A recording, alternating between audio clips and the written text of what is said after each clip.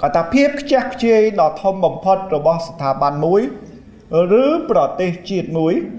គឺអសមត្ថភាពក្នុងការប្រើប្រាស់សមត្ថភាពរបស់មនុស្សរដ្ឋា leadership សិក្សាស្រាវជ្រាវនិងបង្កើតភាពជាអ្នកដឹកនាំ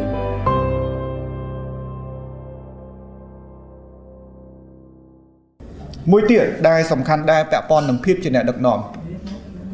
លោកគ្រូអ្នកគ្រូមើលឃើញទេពាក្យហ្នឹងលោកគ្រូសំខាន់ណាស់មួយពាក្យហ្នឹង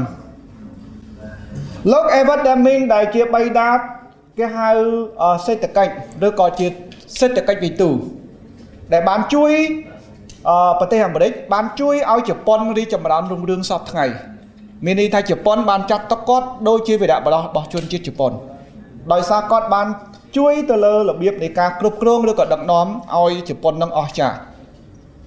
ដឹងគាត់និយាយថាម៉េចទេគាត់ថាភាពខ្ជះខ្ជាយដ៏ធំបំផុតរបស់ស្ថាប័នមួយឬប្រទេសជាតិមួយគឺអសមត្ថភាពក្នុងការប្រើប្រាស់សមត្ថភាពរបស់មនុស្សលោកគ្រូអ្នកគ្រូតាមតន់ទេលោកគ្រូអ្នកគ្រូខ្ញុំសូមអានលើកទី2សូមសូមសូមស្ដាប់ទាំងអស់គ្នាពីព្រោះសារហ្នឹងគឺសំខាន់ណាស់ទៅយើងមានវត្តមានយើងជួបគ្នាថ្ងៃនេះ លោកគ្រូអ្នកគ្រូនាំមូលហេតុដែលយើងជួបគ្នាថ្ងៃនេះ គឺដោយសារមួយឃ្លាហ្នឹងមានន័យថាភាពខ្ជះខ្ជាយដ៏ធំបំផុតរបស់ស្ថាប័នមួយ របស់ប្រទេសជាតិមួយ គឺអសមត្ថភាពក្នុងការប្រើប្រាស់សមត្ថភាពរបស់មនុស្សហើយ ការដែលខាត់បងធំបំផុតមិនដំបូងគេគឺខ្លួនយើងនឹងតែម្ដងយើងអត់បានប្រើប្រាស់សមត្ថភាពដែលយើងមាន ថាយើងអាចធ្វើឲ្យបានគឺយើងអាចធ្វើបានលើសពីអ្វីដែលយើងគិតថាអាចធ្វើបានលោកគ្រូអ្នកគ្រូយើងអាចធ្វើឲ្យបាន យើងអាចធ្វើបានលើសពីអ្វីដែលយើងគិតថាអាចធ្វើបាន នេះគឺជាយើងនេះគឺជាមនុស្សយើង នៅចិនលោកគ្រូអ្នកគ្រូបែរដឹងទេមនុស្ស3នាក់បានផ្លាស់ប្ដូរវាសនាជនជាតិចិន1400លាននាក់មនុស្ស3នាក់ដែលគេហៅថាជា outstanding ទី1គឺលោកម៉ៅស៊ីងតុងថ្ងៃមួយខ្ញុំមានឱកាសបានទៅទស្សនកិច្ចសិក្សានៅវិនជៅឆ្នាំទៅអញ្ចឹងបានខ្ញុំតែនិយាយលេងថាបើទៅឆ្នាំនេះកូនខ្ញុំភីងាប់កើតជំងឺ Covid-19 ហ្នឹង ប៉ុន្តែទៅឆ្នាំទៅ មានគេប្រាប់ទៅថាណក់មានកន្លែងវិនចៅមួយនោះគឺជាចិនអ៊ីស្រាអែលបងប្អូនស្គាល់អ៊ីស្រាអែលអញ្ចឹងក៏បង្កើតមហិច្ឆតាមួយអេអឺបងគុយវត្តខ្ញុំចង់ទៅកន្លែងចិនអ៊ីស្រាអែលហ្នឹងតែគាត់ថាអេអញ្ចឹងចាំខ្ញុំរៀបចំឲ្យបងទៅក៏នាំគ្នាមកក្រុមហើយជា10នាក់សិតតែជើងខ្លាំងនៅស្រុកខ្មែរយើងនាំគ្នាទៅមើលកន្លែងកៅចិនអ៊ីស្រាអែល កន្លែងនោះគឺប្រទេសចិន1400លាននាក់មានចិនប្រហែលជាអាចថា10លាននាក់ដែលនៅក្នុងស្រុកវ៉ុនចៅហ្នឹងគឺគេចាត់ទុកជាចិនអ៊ីស្រាអែលគេថាបើអាហារយើងដែលយើងចង់ញ៉ាំវិញប្រហែលជាមាន50000មុខដែលយើងអាចទៅញ៉ាំថាមកហូបឆ្ងាញ់គឺអស់ឆ្ងាញ់មកលើលោកហើយគេបកកាយណាស់អញ្ចឹងនាំគ្នាទៅមើលដល់នាំគ្នាទៅមើលក៏មានឱកាសបានជួបអ្នកដែលគេបង្កើតរោងចក្រផលិតដីកេះមួយ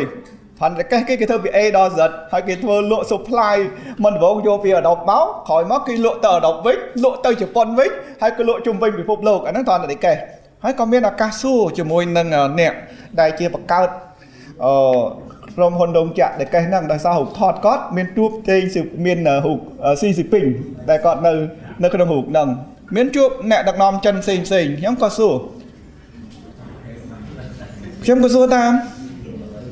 តើលោកស៊ីស៊ីពីងហ្នឹងដែលជាមេដឹកនាំប្រធានសប្តាហ៍ថ្ងៃហ្នឹង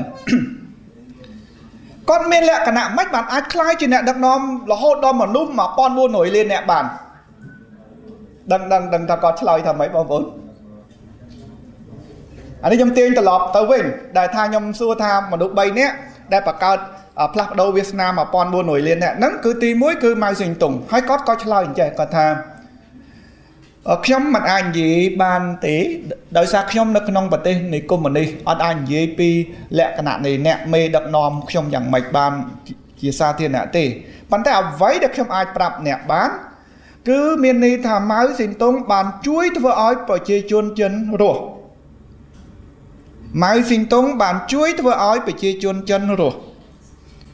ហើយតេងសៀវពេញបានជួយធ្វើឲ្យប្រជាជនចិនរីករាយ ហើយគេថាឥឡូវនេះអ្នកដែលដឹកនាំកំពុងតែនៅក្នុងស៊ីស៊ីនពេញនេះគឺធ្វើឲ្យប្រជាជនចិនរុងរឿងរស់រីករាយនិងរុងរឿងអញ្ចឹងយើងឃើញតែមនុស្ស3នាក់ដែលផ្លាស់ប្ដូរវាសនានៃមនុស្ស1400លាននាក់ចេះសួរតែ1400លាននាក់ហ្នឹងកម្លាំងខ្លាំងប៉ុណ្ណាបានពីមុន ពួកយើងទាំងអស់គ្នាដែលសសឲ្យតែចប់សទាំងអស់គ្នាហ្នឹងលោកគ្រូហ៊ឿនបែបជាកាត់ស្ទើនៅខ្មៅច្រើនគឺសុទ្ធតែមានកូនគេហៅកូនកាត់ពួកចិនហ្នឹងកាត់ចិនហ្នឹងហើយចិនចំណាននោះគឺអីគឺចិនរត់ចោលស្រុកបានសម្រេចគឺជាចិនជោគជ័យប៉ុន្តែចិនម្ដងថ្ងៃនេះគឺចិនដែលមកវិនិយោគទុនគឺជាចិនដែលជោគជ័យខុសគ្នាដូចមេឃដីចឹងបានថាមនុស្សម្នាក់ នៅពេលដែលយើងបំផ្លាញសមត្ថភាពរបស់គេនៅពេលដែលយើងអត់យកសមត្ថភាពរបស់គេយកមកប្រើតើមានការខាតបង់ប៉ុណ្ណាជាពិសេសសមត្ថភាពរបស់លោកគ្រូអ្នកគ្រូតែម្ដងតើខាតបង់ប៉ុណ្ណាលោកគ្រូអ្នកគ្រូបានដាក់ពោខ្លួនឯងឲ្យคล้ายជាជាកូនដែលឪពុកម្ដាយបង្កើតមកនេះ សម្រាប់ប្រវត្តិសាស្ត្រទៅថ្ងៃក្រោយនោះ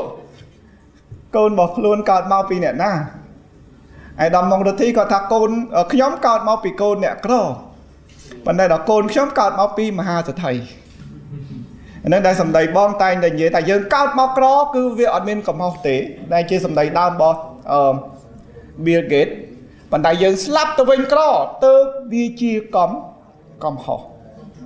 ហើយយើងខ្ញុំចង់ទាញរំលឹកឡើងនឹងមួយយើងភាគច្រើនច្រឡំច្រឡំពីរឿងមានបានឲ្យតែនិយាយពីរឿងលុយខំគេមកហើយជួនកាលណាខ្លះស្អប់អ្នកមានទៅទៀតស្អប់អ្នកមានទៅណាបើស្អប់អ្នកមានយើងអត់ទៅចូលចិត្តជាមួយអ្នកមានមានន័យថាយើងទៅដើរធ្វើកន្លែងអ្នកក្រចឹងកុំកុំបញ្ហាទាំងអស់ហ្នឹងរឿងកុំអញ្ចឹងថ្ងៃក្រោយសុំចេះអសំដីបើបៀគេដែរគាត់និយាយថាអញ្ចឹង បងប្អូនចង់ដឹងទេសំដីបៀគេតានិយាយតាមម៉េចគាត់និយាយថានៅពេលដែលអ្នកមានលុយនៅពេលដែលអ្នកមានលុយមានតែខ្លួនឯងទេដែលអាចភ្លេចថាខ្លួនជាអ្នកណា នៅពេលដែលយើងមានលុយមានតែខ្លួនយើងទេដែលអាចភ្លេចខ្លួនថាយើងជាអ្នកណាប៉ុន្តែនៅពេលដែលយើងអត់លុយពិភពលោកទាំងមូលភ្លេចយើងជាអ្នកណាបាត់ហើយ សាក់លបងជឿមិនជឿសាក់មើលទៅទៅបើមិនជឿដើម្បីទទួលបានគតិបណ្ឌិតកាន់តែល្អអស្ចារ្យសូមអានសិភៅភាពជាអ្នកមានកម្ពុជាសិភៅសម្រាប់មនុស្សគ្រប់គ្នានិងគ្រប់គ្រួសារ